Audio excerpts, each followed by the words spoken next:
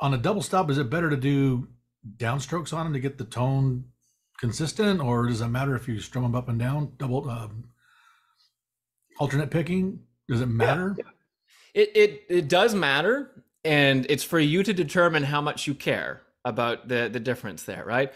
Um, I will say when I'm going to give you some some really clear examples of people doing this where it looks awkward as hell because they're downstroking at a fast tempo. It's nice to have the uniformity. Most guitar players playing in this manner will resort to using consecutive downstrokes for everything because it starts to sound more like automatic, like a machine gun or something, in a, in the best possible way. Everything sounds uniform.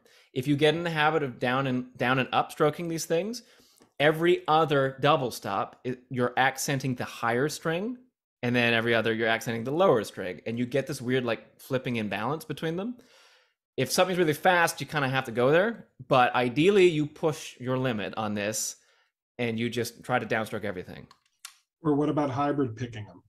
Plucking them. So- hybrid picking them or like doing the chicken picking thing right if you're playing like real chicken picking stuff you want to do that and actually hybrid pick them for the most part like if you're hearing this in a rock setting an r&b setting a pop setting people are going to be playing that with a pick for the most part you don't have to but that's even true in the george benson example we'll look at which is a jazz example. He's still just strumming them basically with a pick